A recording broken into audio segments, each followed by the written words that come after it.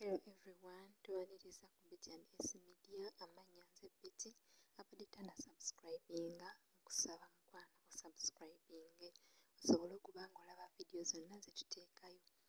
Ka nkutandikize ewa His Excellence Robert Kyagulanyi Ssentamu aka Bobi Wine avuddeyo n'ayogera ku nsonga ez'omuyizi owa UCU eyafiira ku Makerere University mu kavuyo. akaliwo wakati w'aba NUP n'aba FDC.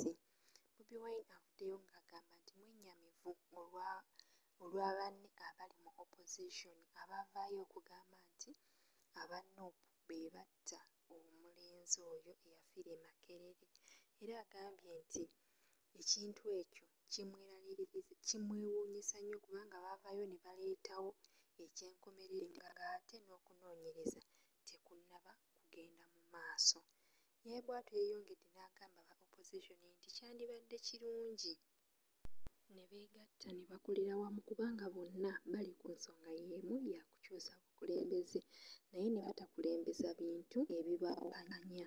Bw'atyo bw'ayogedde mu bigambo bye.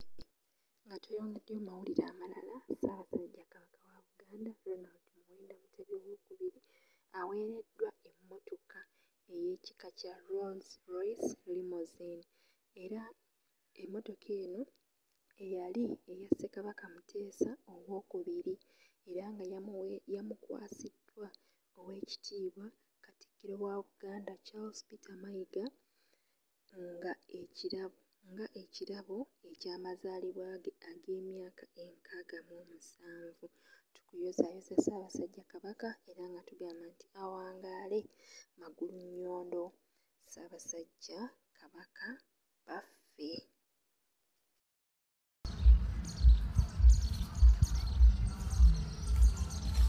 Yo, bad man and bad mind is two different things.